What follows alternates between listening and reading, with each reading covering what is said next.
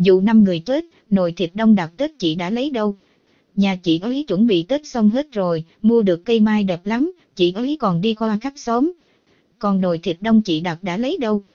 Đến hơn 10 đêm ngày 15 tháng 2, rất đông người dân có mặt tại ngôi nhà năm người Tết ở quận Bình Tân. Nhiều người bàng hoàng vì không tin đó là sự thật. Nhiều người dân bàng hoàng khi hay tin. Mới hôm hai, nhà chị Hồng còn đặt gia đình tôi nồi thịt đông tính 28, 29 Tết lấy. Nhưng đến 28 Tết gọi không thấy ai bốt máy. Sáng nay, có người bà con ghé qua đưa con gà cúng, ghé mắt một người hàng xóm kể chuyện. Mấy hôm rồi, thấy con chó sủa ăn ẩn ngoài cổng, cửa khóa, người hàng xóm qua cho ăn, chứ đâu biết gì đâu. Lúc phát hiện ra thì máu đen rồi. Theo lời kể, gia đình chị Hồng hiền lành, song phẳng có tiếng. Tôi đi tập thể dục với bà suốt. Nhà nuôi 4,5 thợ, mua rau sạch, thịt về tự nấu cho thợ ăn. Bỏ hiền lắm, nhà cũng thuộc diện khá tóc vẫn đen dậy, mới hôm rồi mới đi duỗi đón Tết. Chỉ có mấy hôm trước, nghe bảo không biết chuyện gì mà cho một thợ nghỉ, nhưng cũng thanh toán hết rồi. Ai thì tôi không biết chứ gia đình bà tôi chắc đất đó của nhà bà, còn có miếng ở Vĩnh Lộc nữa mà. Tội nhất là ba đứa nhỏ, đứa lớn mới 13 tuổi, đứa nhỏ mới 5 tuổi. Năm sau bé út vào lớp 1 rồi. Lực lượng công an và các ngôi nhà vẫn đang được phong tỏa đảm bảo công tác khám nghiệm, điều tra. Đêm nay là đêm giao thừa. Nhà chị Hồng chuẩn bị Tết hết rồi nhưng đâu còn ai đón Tết. Trước đó, như chúng tôi đã thông tin vào khoảng, một người dân đến gia đình này thì phát hiện điều bất thường nên vào kiểm tra, phát hiện người phụ nữ tên Hồng khoảng 35 tuổi, là vợ ông Chinh đã tử vong gần cửa ra vào, xung quanh có nhiều vết máu. Nhận được thông tin, cảnh sát nhanh chóng có mặt phong tỏa hiện trường, khám nghiệm và phát hiện thêm ông Chinh và ba thành viên còn lại trong gia đình cũng đã tử vong từ trước, cơ thể đã bắt đầu phân hủy. Theo người dân, chủ nhà quê Thanh Hóa và làm nghề gia công máng xối inox, gia đình này cũng thuộc hạng khá giả trong khu vực. Thiếu tướng Phan Anh Minh, Phó Giám đốc Công an Thành phố Hồ Chí Minh, Thượng tá Trần Văn Nghiệp, trưởng phòng kỹ thuật hình sự Công an Thành phố Hồ Chí Minh có mặt chỉ đạo tại hiện trường. Chúng tôi sẽ trực tiếp đưa tin trong suốt thời gian. Chiều 30 Tết phát hiện một gia đình 5 người đều đã tử vong. Đến giao gà cho ông C, nam thanh niên phát hiện ra vợ của người đàn ông này tử vong trong căn nhà cho nên đã hồ hoán.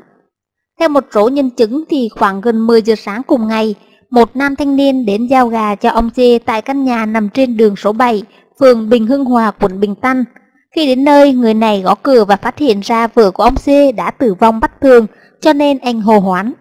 Sau đó, người dân tại khu vực trên đã ngay lập tức thông báo cho cơ quan chức năng.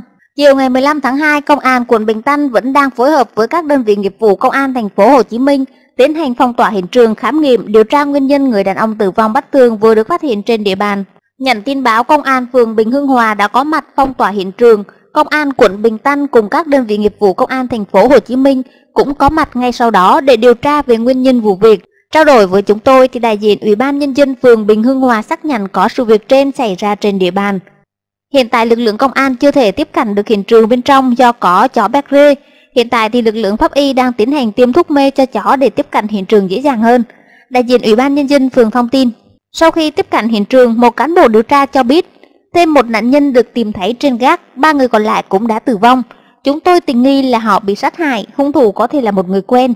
Một cán bộ điều tra cho biết, Đến 18 giờ hôm nay, Thiếu tướng Phan Anh Minh, Phó Giám đốc Công an thành phố Hồ Chí Minh đã có mặt tại hiện trường vụ án, thực hiện điều tra vụ án. Hiện tại thì hiện trường vụ án đã được phong tỏa cả hai phía, song vẫn có rất đông người dân hiếu kỳ vây kín xung quanh để theo dõi lực lượng chức năng làm việc. Theo nguồn tin riêng cho hay thì ngôi nhà trên do ông Xê đứng tên và kinh doanh các mặt hàng như là máng xối, inox vân vân. Cũng theo nguồn tin này thì gia đình ông Xê có 5 người. Người dân sinh sống tại khu vực này cho biết, gia đình nạn nhân thuộc loại khá già, có hai con gái, một con trai từ 3 đến 13 tuổi. Hôm trước thì vợ chồng ông này làm tiệc đãi tất niên để các thợ về quê, nhưng đã hai ngày qua thì không ai thấy những người trong gia đình này xuất hiện. Nhiều báo Mỹ đưa tin sự kiện thầy giáo Daniel Howard bình luận khiêm nhã về đại tướng Võ Nguyên Giáp.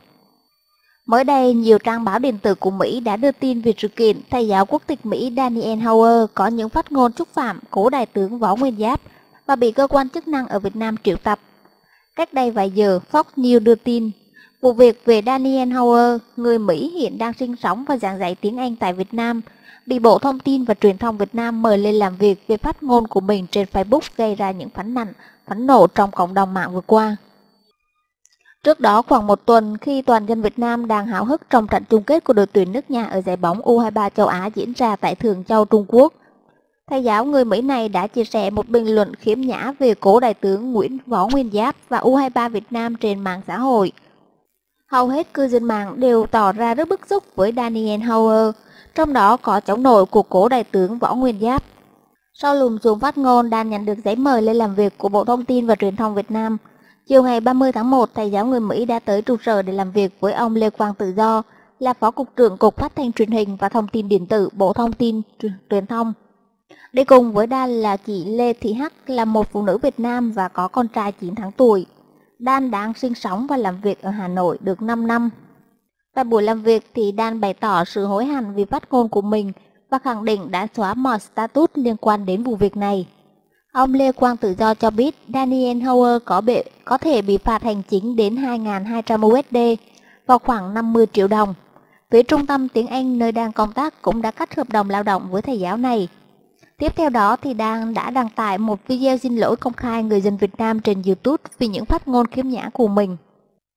Đan chỉ muốn mọi người biết rằng Đan không có ý xúc phạm Việt Nam hay Đại tướng Võ Nguyên Giáp. Dan đã học được một bài học về sự cẩn trọng trong việc dùng tên hoặc hình ảnh của người nổi tiếng trong lịch sử Việt Nam. Dan hứa sẽ không làm như thế nữa, thầy giáo Mỹ thanh minh. Tờ New York Post cũng đã dính lời vừa của Daniel Hauer là chị Lê Thị Hắc.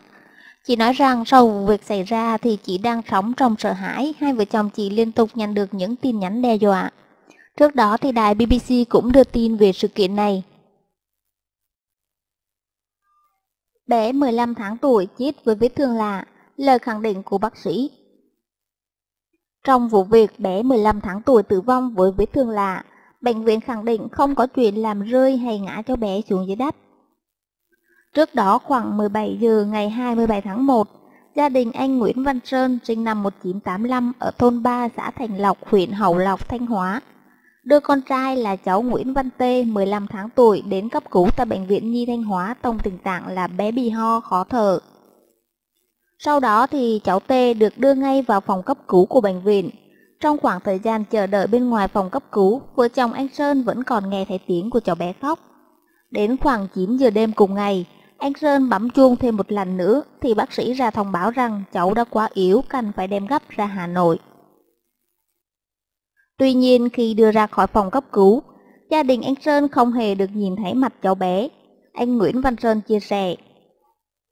Trong suốt khoảng thời gian từ lúc đưa con lên xe cấp cứu, bác sĩ đều dặn tôi là phải chùm chiến khăn lại cho cháu khéo cháu bị trúng gió.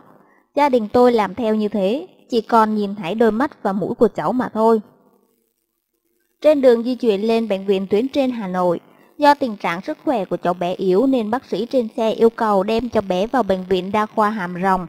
Tại đây thì các bác sĩ thông báo cháu bé đã tử vong từ trước nên bệnh viện đã trả về.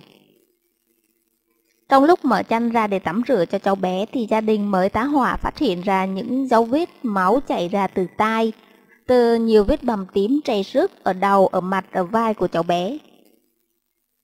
Ngày 1 tháng 2, ông Dương Văn Hùng, Phó Giám đốc Bệnh viện Nhi Thanh Hóa cho biết, bệnh viện đã nhận được đơn phản ánh của gia đình cháu bé. Sau khi nhận đơn phản ánh thì bệnh viện đã thành lập hội đồng chuyên môn và phối hợp với cơ quan chức năng để làm rõ vụ việc. Khi nào có kết quả thì điều kết quả điều tra thì bệnh viện sẽ có văn bản trả lời cho gia đình của cháu bé.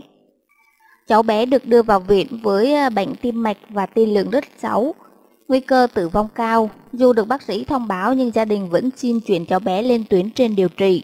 Trước khi đưa cháu đi thì chúng tôi cũng có bàn cam kết với gia đình nạn nhân, ông Hùng thông tin. Nói về vết thương lạ của cháu bé, ông Hùng cũng khẳng định, nhiệm vụ của chúng tôi là cứu người, không có chuyện trong quá trình điều trị tại bệnh viện làm rơi cháu bé hay để cháu bé ngã xuống đất. Quá trình tiếp nhận cháu T thì ở khoa cấp cứu của bệnh viện và chuyển cháu lên xe cấp cứu để đưa lên tuyến trên. Các bác sĩ không phát hiện trên cơ thể cháu có vết thương nào hết. Người bệnh nhi hoàn toàn bình thường. Theo lãnh đạo bệnh viện, bệnh viện sẽ yêu cầu khoa cấp cứu trương tình lại sự việc. Liên quan đến vụ việc, ông Ngô Việt Hưng, trưởng khoa hồi sức cấp cứu nhi cho biết, trường hợp cháu bé T, chúng chính tôi là người đã cấp cứu cho cháu. Lúc cháu nhập viện, cơ thể cháu không bị trầy xước gì. Khi tình trạng bệnh viện bệnh của cháu có diễn biến xấu thì gia đình tha thiết xin được chuyển lên tuyến trên, chúng tôi cũng đã tiến hành đưa đưa xe đưa cháu đi. Lúc đưa cháu lên xe cấp cứu, chính mẹ cháu là người đã bế cháu lên xe, thế nên không có chuyện những vết thương lạ đó xuất hiện khi cháu điều trị tại đây, và cũng không có chuyện gia đình không được tiếp cận cháu bé như đã phản ánh. Là người trực tiếp lái ô tô chở cháu đi cấp cứu, anh Trịnh Quốc Đào ở thôn 6 xã Thành Lộc cho biết, Lúc đến nhà để chở cháu bé đi cấp cứu thì tôi thấy cháu chỉ bị ho rồi quậy khóc và không hề có một vết thương nào trên cơ thể. Trước khi ờ, đưa cháu Tê đi mai táng, gia đình anh Sơn cũng đã báo với công an xã và trưởng thôn đến chứng kiến vụ việc. Sau đó gia đình đã làm đơn gửi lên cơ, cơ quan chức năng yêu cầu điều tra làm rõ nguyên nhân cháu Tê tử vong. Được biết thì cháu Nguyễn Văn Tê bị hẹp van tim từ nhỏ, gia đình cháu đưa cháu ra Hà Nội khám chữa và đang chờ lịch để mổ thì được bị xảy ra sự việc đau lòng trên.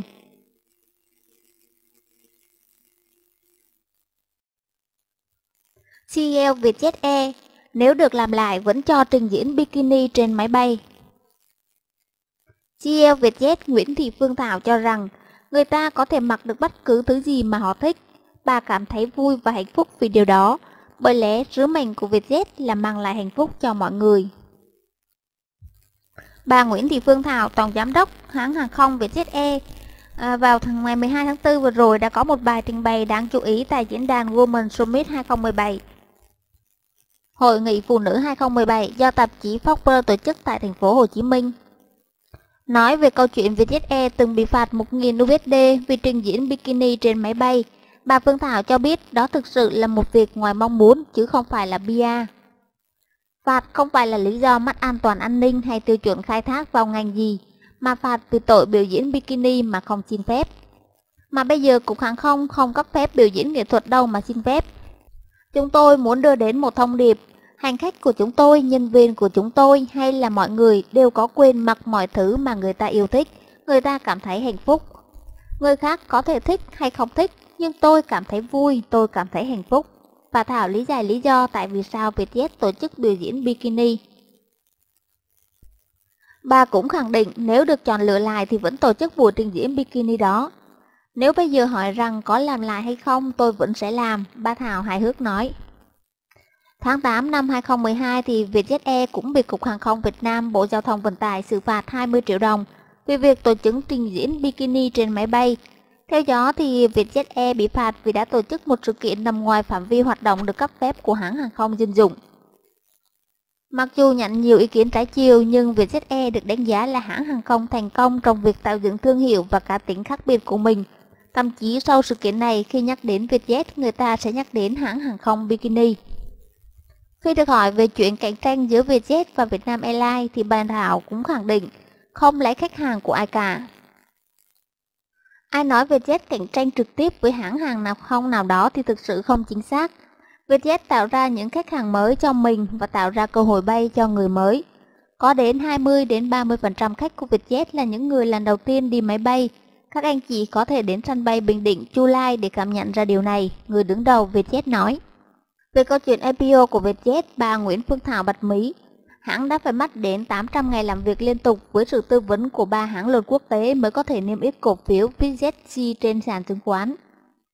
Mục tiêu của chúng tôi là muốn mang đến cho nhà đầu tư một sản phẩm mới mẻ, nhưng khi bắt tay vào làm thì chúng tôi mới biết có rất là nhiều rào cản, có những thứ chênh lệch rất lớn giữa chuẩn mực của Việt Nam và quốc tế. Chúng tôi đã mất 800 ngày cùng dự án cho ba hãng quốc tế lớn tư vấn, bà nói. Theo Forbes thì tỷ phú Nguyễn Thị Phương Thảo xếp ở vị trí số 1.678 tỷ phú thế giới, với giá trị tài sản ròng ở mức 1,2 tỷ đô nếu tính đến ngày 19 tháng 3 năm 2017. Giới thiệu về bà Nguyễn Thị Phương Thảo thì à, Forbes miêu tả bà là nữ tỷ phú tự thanh đầu tiên của Việt Nam, là người đang điều hành hãng hàng không giá rẻ Vietjet Air Doanh nghiệp được niêm yết vào tháng 2 năm 2017. Bà đã ra mắt hãng hàng không vào năm 2011, sớm gây sốt với chiến lược truyền thông gắn liền với hình ảnh những nữ tiếp viên trong trang phục bikini.